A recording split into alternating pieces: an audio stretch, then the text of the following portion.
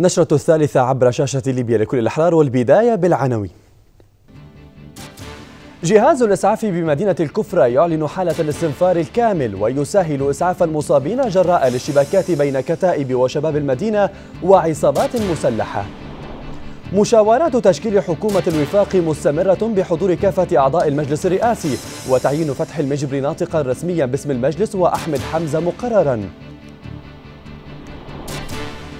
مارتن كوبلر يقول أن المجتمع الدولي غير مستعد للتدخل في ليبيا حاليا والبرلمان الأوروبي يدعو إلى تنفيذ الاتفاق السياسي والناتو يحث على وقف إطلاق النار. أعلن جهاز الإسعاف بالكفرة حالة الاستنفار الكامل في المدينة نتيجة الاشتباكات الدائرة حول الكفرة وعلى الطريق الرابط بينها وبين مدن الشمال. وقال رئيس جهاز الإسعاف بالكفرة إبراهيم بالحسن إن جهاز الإسعاف أقام نقاط تمركز جديدة على المدخل الرئيسي للمدينة إضافة للأحياء البعيدة عن مستشفى الكفرة العام. كما جدد دعوته إلى فتح الطرق السريعة المارة بوسط المدينة من أجل تسهيل إسعاف المصابين جراء الاشتباكات وأعرب المجلس البلدي في مدينة الكفرة عن تأييده للهجوم الذي نفذته عناصر كتيبة التوحيد وشباب مدينة الكفرة على من وصفها بعصابات العدل والمساواة وجبهة تحرير السودان ومن يساندهم من مجموعات تشادية. وأضاف المجلس في بيان له أن شباب مدينة الكفرة وعناصر كتيبة التوحيد تمكنوا من تحرير منطقة بوزريق محذرا من يحاول المساس بأمن الكفرة خاصة وليبيا عامة من نفس مصير هذه العصابات بحسب البيان. في سرمان أكد عميد بلدية البلدية محمد الهوني العثور على جثة في جزيرة الدوران الواقعة قرب مكتب الجوازات في المدينة. ومن المرجح أنها تعود لمواطن كان قد اختطف خلال الأيام الماضية من قبل مجموعة مسلحة. كما أشار الهوني إلى مقتل موظف يعمل بالمصرف التجاري فرع المطرد شرقي المدينة إثر قيام مجموعة مسلحة بإطلاق النار أو إطلاق نار عشوائي ما أدى إلى مقتله على الفور منوها إلى أن الوضع الحالي في المدينة يعتبر هادئا نسبيا.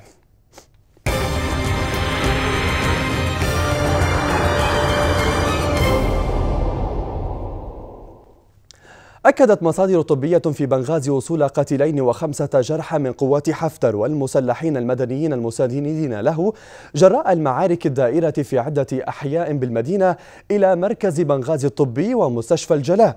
وبحسب المصادر فقد استقبل مركز بنغازي الطبي قتيلا وجريحين فيما استقبل مستشفى الجلاء قتيلا يبلغ 42 عاما وثلاثة جرحى أصيبوا في محور بوعطني يوم أمس.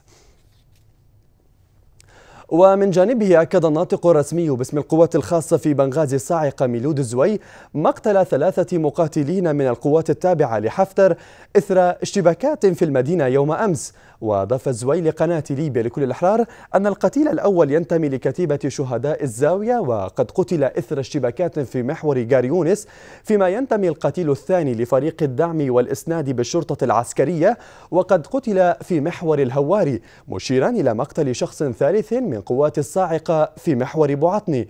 ونوه الزوي إلى أن فرقة التحريات بالقوات الخاصة ألقت القبض على أربعة أشخاص خارجين عن القانون ثلاثة منهم في مصرف الرويسات والرابع بمصرف الوحدة بالبركة كانوا يقومون بأخذ رشاوى من المواطنين. وزعت الهيئة الليبية للإغاثة في بنغازي حصصا غذائية مقدمة من برنامج الغذاء العالمي على العائلات النازحة في المدينة. وقال مدير فرع الهيئة ببنغازي محمد الأثرم إن عدد العائلات التي تسلمت مساعدات قد بلغ 2868 عائلة بمعدل صندوقين لكل عائلة. وأضاف الأثرم أن عملية التوزيع تتم من خلال ثلاثة مراكز تعتمدها الهيئة وتشرف عليها وتعمل طوال أيام الأسبوع عدا الجمعة.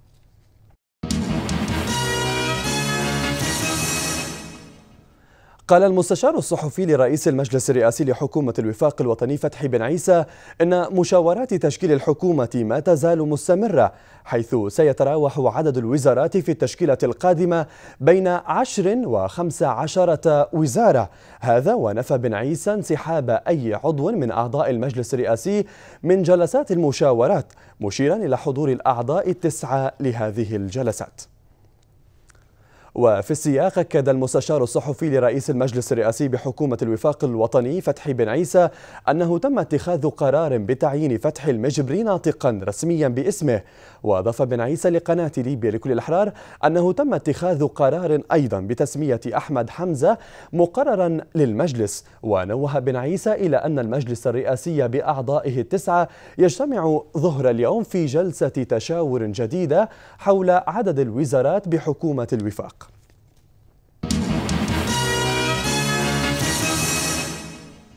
قال المبعوث الأممي لليبيا مارتن كوبلر إن الحرب على ما يعرف بتنظيم الدولة في ليبيا تحتاج إلى قوات برية باعتبار أنها حرب للاستيلاء على المنشآت النفطية والمدن والمواقع الاستراتيجية.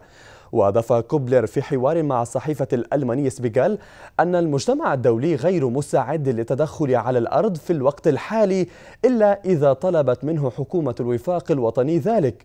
وشدد كوبلر على ضرورة الإسراع في تنفيذ الاتفاق السياسي نظرا لسرعة انتشار ما يعرف بتنظيم الدولة في البلاد وتدهور الأوضاع الإنسانية وتردي الوضع الاقتصادي للبنك المركزي الذي لم يبقى في خزائنه غير 50 مليار دولار من الاحتياطات من إجمالي 280 مليار دولار سنة 2011 على حد قوله.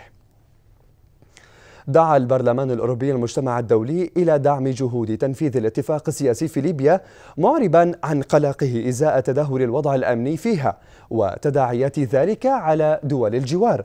ونبه البرلمان في قرار تبناه بأغلبية 478 صوتا بخصوص الوضع في ليبيا. نبه إلى أن التفكك الاقتصادي واستمرار أعمال العنف في ليبيا يزيدان من هشاشة الدولة ويساهمان في توسع ما يعرف بتنظيم الدولة. وطلب البرلمان الاتحاد الأوروبي والمجتمع الدولي بتوفير الدعم الإنساني والمالي والسياسي للتعامل مع الوضع الإنساني المتدهور في ليبيا. هذا وأكدت مصادر دبلوماسية أوروبية أن وزراء دفاع وخارجية الدول الأعضاء في الاتحاد الأوروبي يعقدون حاليا اجتماعات مشتركة غير رسمية في أمستردام حول موضوع التمدد السريع لما يعرف بتنظيم الدولة في ليبيا.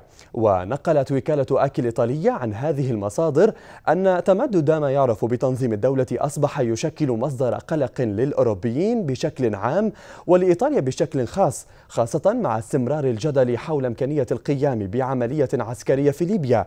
ويعقد وزراء خارجية ودفاع دول 27 دولة في الاتحاد الأوروبي اجتماعاتنا اليوم في العاصمة الهولندية أمستردام برئاسة الممثلة العليا للأمن والسياسة الخارجية في الاتحاد الأوروبي فيدريكا موغريني. قالت وزيرة الدفاع الألمانية أرسولا فوندرلاين إنه من الضروري تشكيل حكومة وحدة وطنية في ليبيا حيث يمكنها أن تطلب بعد ذلك مساعدة دولية في حربها ضد ما يعرف بتنظيم الدولة. وأضافت ديرلاين قبل اجتماع مع نظرائها بالاتحاد الأوروبي في أمستردام أن ليبيا بدأت تتحول إلى منطقة ملاذ وعمل لما يعرف بتنظيم الدولة. مشيرة إلى أن هذا الموضوع أصبح يعزز الضغط لتشكيل حكومة وحدة وطنية يمكنها أن تقول بوضوح ما طبيعة المساعدة التي تحتاجها من المجتمع الدولي. قال الأمين العام لحلف شمال الأطلسي ناتو ينس ستولتنبرغ إن الحلف يتابع عن كثب الأوضاع في ليبيا مشددا على ضرورة دعم جهود إيجاد حل سياسي في البلاد من أجل وقف إطلاق النار والتوصل إلى اتفاق على تشكيل حكومة وحدة وطنية لأن ذلك يعد خطوة مهمة لما لمحاربة ما يعرف بتنظيم الدولة. نحن نتابع عن كثب التطورات في ليبيا أيضا وهذا يؤكد أهمية الدعم الكامل للجهود الرامية لإيجاد حل سياسي من أجل التوصل إلى وقف إطلاق النار والتوصل أيضا إلى اتفاق على تشكيل حكومة وحدة وطنية في ليبيا لأن ذلك يعتبر خطوة أولى نحو محاربة تنظيم الدولة. قال وزير الدفاع الأمريكي أشتون كارتر إن الولايات المتحدة تتابع الأحداث في ليبيا بدقة بالغة لكنها لم تتخذ قرارا بشأن توسيع نطاق دورها هناك. وأضاف كارتر في مؤتمر صحفي أثناء زيارته لقاعدة نيلس الجوية في ولاية نيفادا يوم أمس. أن التركيز ينصب الآن على المسار السياسي في ليبيا موضحا أنه من المتوقع أن يتم الإعلان عن التشكيلة الوزارية قريبا. يشار إلى أن البيت الأبيض كان قد أعلن أن الرئيس الأمريكي باراك أوباما يتلقى المعلومات أولا بأول عن خطر امتداد نفوذ ما يعرف بتنظيم الدولة في ليبيا مؤكدا أن الولايات المتحدة ستتخذ إجراءات لمواجهة هذا الخطر إن استدعى الأمر ذلك. هذا وقد أشار تقرير جديد للمخابرات الأمريكية إلى أن عددا من قيادي ما يعرف بتنظيم الدولة توجهوا إلى ليبيا للقتال وتعزيز قبضة التنظيم على ساحل البحر المتوسط بعد الخسائر التي تكبدها في سوريا والعراق ونقلت وكالة رويترز للأنباء عن تقرير المخابرات الأمريكية قوله إن الفرع الليبي لما يعرف بتنظيم الدولة آخذ في التوسع مشيرا إلى أن هناك تضاربا في التقديرات الأمريكية لعدد, لعدد عناصر التنظيم في ليبيا بين من يقدر العدد بثلاثة آلاف مقاتل وبين من يقول إن العدد قد يصل إلى خمسة آلاف أو أكثر. يذكر أن تقرير المخابرات الأمريكية أكد أن هناك تراجعا في صفوف مقاتلي ما يعرف بتنظيم الدولة في سوريا والعراق. قالت صحيفة نيويورك تايمز إن الرئيس الأمريكي باراك أوباما يواجه ضغوطا من جانب بعض مساعديه لشؤون الأمن القومي للسماح بفتح جبهة جديدة ضد ما يعرف بتنظيم الدولة في ليبيا وبحسب الصحيفة فقد أوصى أوباما مساعديه بمضاعفة الجهود من أجل دعم تشكيل حكومة الوفاق الوطني في الوقت الذي يتعين فيه على البنتاغون دراسة عدة خيارات من بينها شن ضربات جوية أو قيام قوات العمليات الخاصة ببعض الهجمات. وأضافت الصحيفة أن تدخل أعداد كبيرة من القوات البرية الأمريكية هو أمر غير مطروح. قال الرئيس التونسي الباجي قائد السبسي إنه على الدول التي تفكر في التدخل العسكري في ليبيا مراعاة مصالح دول الجوار والتشاور معها بهذا الخصوص. وأضاف السبسي في كلمة له أنه بعد تواتر الأخبار بشأن اقتراب التدخل العسكري في ليبيا توافد عدد من كبير من الليبيين على تونس لافتا إلى أن استمرار حالة الاضطراب في ليبيا تمثل عامل تهديد مباشر لأمن تونس على حد تعبيره. وأكد الرئيس التونسي أن حل الأزمة الليبية يكمن في تنفيذ بنود الاتفاق السياسي والإسراع في المصادقة على حكومة الوفاق الوطني وتعهد المجتمع الدولي وفي مقدمته دول الجوار بدعم هذه الحكومة. وللتعليق حول جملة هذه التصريحات ينضم إلينا عبر الهاتف من العاصمة الأردنية عمان الباحث في الجماعات الإسلامية حسن أبو هنية سيد أبو هنية بداية المخابرات الأمريكية أكد توجه عدد من قادة ما يعرف بتنظيم الدولة إلى ليبيا إن صحت هذه المعلومات في تقديرك إلى ما يهدف التنظيم من إرسال قادته إلى ليبيا؟ أعتقد أن التنظيم في تنظيم الدولة الإسلامية في العراق وفي المقر الأساسي في العراق وسوريا آه، يدرك الأهمية الاستراتيجية لتواجد التنظيم في شمال إفريقيا وللتمدد فيما بعد لاحقا في منطقة جنوب الصحراء والساحل. ولذلك هو كان كان كان قد أرسل كان ثاني يناير العام الماضي مجموعة من القادة أكثر من 15 قيادات على راسهم أبو نبيل الأنباري ثم أبو البراء اليمني. ولكن نعلم أن بعد مقتلهم في اغسطس الماضي تم إرسال وفد آخر. أعتقد أن التنظيم يريد أن يمسك زمام السيطرة على الخلافات التي تبدو موجودة على شكل آه، أو آخر على أسس مختلفة بين المقاتلين يعني الأجانب والمقاتلين الليبيين. ولذلك التنظيم يريد أن يعزز من قبضته على سيرته على هذه المنطقة باعتبارها المحطة الأساسية للتمدد سواء في ليبيا أو في منطقة آه، يعني إفريقيا عموما شمال إفريقيا ومنطقة جنوب الصحراء والساحل. نعم. طيب السيد أبو هنية وزراء دفاع وخارجية الاتحاد الأوروبي يجتمعون اليوم في العاصمة الهولندية أمستردام ومسألة ما يعرف بتنظيم الدولة يبدو أنها على رأس جدول الأعمال هل نتوقع أي خطوات أو قرارات خلال هذا الاجتماع؟ أعتقد أن الأولوية كما تعلم أن هناك اجتماع بروكسل أيضا لقوات التحالف الأسبوع المقبل لتقييم الاستراتيجيات والضربات التي منذ تشكل التحالف الدولي في في أيلول سبتمبر 2014 لقتال تنظيم الدولة في العراق وسوريا هناك الان إعادة تقييم الولايات المتحده الأمريكية زادت ميزانية الدفاع الخاصة بمقاومة تنظيم الدولة الإسلامية داعش بأكثر من 50 بالمئة. وبالتالي الخيارات جميعها لا تزال تتراوح مكانها عبر التدخل الجوي في ليبيا. لا تزال هناك كما أشار اشتون كارتر لم يتخذ قرار بشكل مباشر. الأمر قيد الدراسة لكن بالتأكيد أن الولايات المتحده الأمريكية وحلفائها يراقبوا المشهد بشكل دقيق في وتطوراته في ليبيا لكن لا تزال كما أشار يعني الوزراء الخارجية في بريطانيا وكذلك في فرنسا بعدم النية للتدخل البري نعم. على الإطلاق حتى الآن ولكن هناك دائما التفكير بالتدخل هو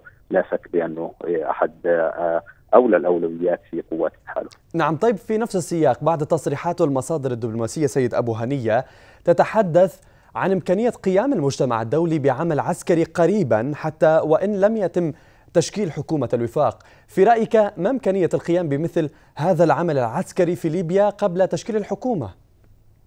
لا أعتقد أعتقد أن هذا الأمر محفوف بالمخاطر وبالتالي المجتمع الدولي يدرك بأن هذا التدخل سوف يعمل على ربما يعني يصب في مصلحة تنظيم الدولة بشكل أساسي باعتبار باعتبار هي تعرض لحرب صليبية حرب خارجية ولكن دون وجود حكومة توافق وطني واضحة وصريحة فلا أعتقد بأن المجتمع الدولي على استعداد للتورط في عمل مباشر. ربما هناك بعض العمليات الخاصة. ننسى ان الولايات المتحدة الأمريكية تقوم بطائرات بدون طيار وكذلك عمليه طلعات استخبارية للبريطانيين والفرنسيين ولكن عملية التدخل المباشر لا أعتقد بأنه يمكن أن تحدث. قد تاخذ تحدث بعض العمليات الخاصة والتدخلات الجوية المحدودة ولكن ليس تدخل واسع. نعم، طيب الرئيس التونسي من جهته قال إن على دول أو الدول التي تفكر في التدخل في ليبيا أن تراعي مصالح دول الجوار لافتا إلى أن استمرار حالة الاضطراب في ليبيا تمثل عامل تهديد مباشر لأمن تونس على حد تعبيره كيف تقرأ هذه التصريحات؟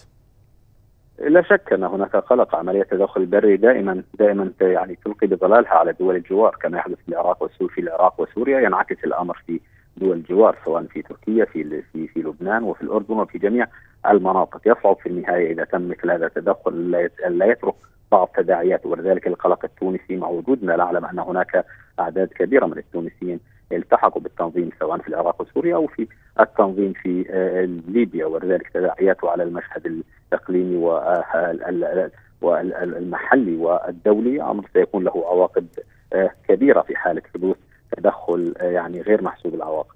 نعم عبر الهاتف من العاصمة الأردنية عمان الباحث في الجامعات الإسلامية حسن أبو هنية شكرا جزيلا لك.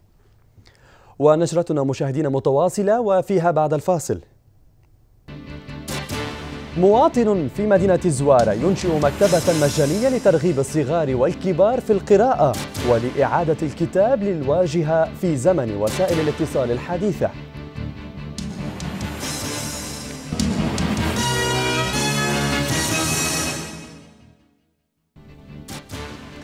جهاز الإسعاف بمدينة الكفرة يعلن حالة الاستنفار الكامل ويسهل إسعاف المصابين جراء الاشتباكات بين كتائب وشباب المدينة وعصابات مسلحة. مشاورات تشكيل حكومة الوفاق مستمرة بحضور كافة أعضاء المجلس الرئاسي وتعيين فتح المجبري ناطقا رسميا باسم المجلس وأحمد حمزة مقررا. مارتن كوبلر يقول أن المجتمع الدولي غير مستعد للتدخل في ليبيا حالياً. والبرلمان الأوروبي يدعو إلى تنفيذ الاتفاق السياسي والناتو يحث على وقف إطلاق النار. قدمت الجزائر مساعدات إنسانية تقدر بثمانية عشر طنا من الأدوية والمعدات الطبية لمدينتي غات وأوباري لتلبية احتياجات السكان الذين يعانون من تدهور أوضاعهم الإنسانية. ونقلت وكالة الأنباء الجزائرية عن بيان لوزارة الخارجية أن هذه المساعدات تأتي تلبية لنداءات المساعدة العاجلة التي وجهتها الأمم المتحدة لتلبية احتياجات الأهالي في عدة مدن ليبية وأشار البيان إلى أن الجزائر تتابع بانشغال تفاقم الوضع الإنساني والصحي في ليبيا وتدعو الأطراف الليبية إلى تحمل مسؤولياتها لاستكمال المسار السياسي الذي تقوده الأمم المتحدة من أجل إعادة الأمن والاستقرار بشكل نهائي. تشهد المصارف في أغلب المناطق في ليبيا زحاما شديدا فيما أغلقت أخرى أبوابها نتيجة أزمة نقص السيولة المالية. التقرير التالي يسلط الضوء على أسباب الأزمة. تجتاح قطاع المصارف الليبية أزمة نقص سيولة نقدية حادة. في وقت تشهد فيه المصارف في البلاد ازدحاما شديدا بسبب إقبال المواطنين على سحب مرتباتهم ومدخراتهم المالية. أسباب الأزمة ترجع حسب خبراء اقتصاديين إلى عدة عوامل يتمثل أبرزها في الوضع الأمني المتدهور في عدة أماكن ما حال دون نقل الأموال بين المناطق فضلا عن الانفصال شبه التام بين المنطقتين الشرقية والغربية في منظومات عمليات المقاصة والتحويل بين المصارف. الأزمة تفاقمت بعد إقبال المواطنين بشدة على سحب أموالهم من المصارف بسبب فقدانهم الثقة في عودة الاستقرار ورغم ضخ المصرف لملايين الدينارات شهريا حيث يشير خبراء إلى أن نحو 24 مليار دينار تتحرك خارج القطاع المصرفي. كل هذا ينضاف إلى مشاكل القطاع القديمة التي تتمثل في عدول العملاء عن إيداع أموالهم وضعف البنية التحتية للقطاع المصرفي. ما زاد من معاناة المواطنين نتيجة ارتفاع معدلات التضخم في البلاد. التضخم في البلاد وصل إلى مستويات قياسية بسبب الأزمة الاقتصادية الناتجة عن قطاع النفط. ما دفع المصرف المركزي لوقف الاعتمادات المصرفية وعدم صرف النقد الأجنبي للمصارف الأمر الذي أدى إلى ارتفاع سعر صرف الدولار في السوق الموازية. وفي ظل استمرار الأزمة السياسية وتدهور الأوضاع الأمنية يبدو أن الأزمة الاقتصادية في البلاد ستحتل سلم أولويات المواطنين الذين لم يبقى لهم من أمل سوى تمني حدوث تطورات جديدة تغير واقعهم الصعب ولو قليلاً. لجأ أحد مواطني مدينة زوارة إلى إنشاء مكتبة مجانية مصغرة وتوزيعها في عدد من الأماكن العامة في المدينة لترغيب الصغار والكبار في المطالعة. تفاصيل أوفى عن هذا المشروع في التقرير التالي. مع عزوف البعض عن شراء الكتب ومطالعتها ونظرا لأهمية القراءة باعتبارها أول وسيلة للتعلم وأقدمها. لجأ أحد المواطنين من مدينة زوارة ويدعى باسم دهان لإنشاء مكتبة مجانية مصغرة لترغيب الصغار والكبار في القراءة. جات فكرة المكتبة. شفنا هنا في المدينة هنا بشكل خاص أن في عزوف كبير بالنسبة لتداول الكتاب وانتشاره. آه، حاولنا نديروا فكرة معينة أن إحنا ننشروا به الكتاب بطريقة سهلة وسلسة وفي متناول الناس آه، فلقينا من أفضل الأشياء أنه هو يكون تداول الكتاب بشكل مجاني يعني تحطه في مكان عام حديقة وشارع أو يعني في جهات العامة وتخليه إن تخلي الناس اللي هي آه، عندها القدرة إن هي تتحصل على الكتاب بدون ما تدفع رسوم بدون ما يكون فيها قيود. هنا في هذه الحديقة ركز باسم دهان مجموعة من المكتبات حيث يمكن للزوار اقتناء كتاب ومطالعته شريطة إرجاعه مرة أخرى. ولم ينسى مؤسس المكتبة الأطفال باعتبارهم أول فئة مستهدفة حيث صمم لهم مكتبات خاصة كما أنه صمم صندوقا خاصا بالتبرع بالكتب ليستفيد منها الآخرون. وبالفعل آه، صممنا المكتبة المجيه المصغره ودرنا معاه منتج ثاني اللي هو آه، مكتبة آه، للأطفال صغيرة الحجم قصيرة ان هي تقدر يعني حتى الطفل الصغير يقدر هو يتناول كتاب وياخذه. ودرنا منتج ثالث اللي هو عبارة عن صندوق تبرع بالكتب. فكرة المكتبة المجانية التي قوبلت بالرفض في البداية وجدت ترحيبا من بعض القراء واعتبروها خطوة هامة نحو إعادة الكتاب إلى الواجهة. خاصة مع الاعتماد الكلي على وسائل الاتصال الحديثة. حقيقة جيت اليوم للحديقة وتفاجأت بالمكتبة المصغرة هذه وعجبتني الفكرة ونشكر كل من خدم عليها. والحقيقة المكتبة متنوعة لل يعني من السن تقريبا 8 سنوات للسن لل 60 سنة. وعجبتني الفكرة الصراحة يعني ما توقعتهاش هيك وجبت كتاب وعجبني.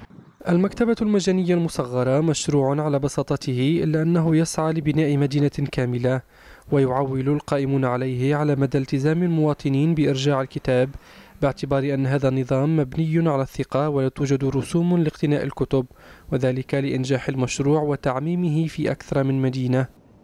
نهاية النشرة مشاهدينا هذا تذكير بالعناوين. جهاز الإسعاف بمدينة الكفرة يعلن حالة الاستنفار الكامل ويسهل إسعاف المصابين جراء الاشتباكات بين كتائب وشباب المدينة وعصابات مسلحة. مشاورات تشكيل حكومة الوفاق مستمرة بحضور كافة أعضاء المجلس الرئاسي وتعيين فتح المجبر ناطقا رسميا باسم المجلس وأحمد حمزة مقررا. مارتن كوبلر يقول أن المجتمع الدولي غير مستعد للتدخل في ليبيا حاليا. والبرلمان الأوروبي يدعو إلى تنفيذ الاتفاق السياسي والناتو يحث على وقف إطلاق النار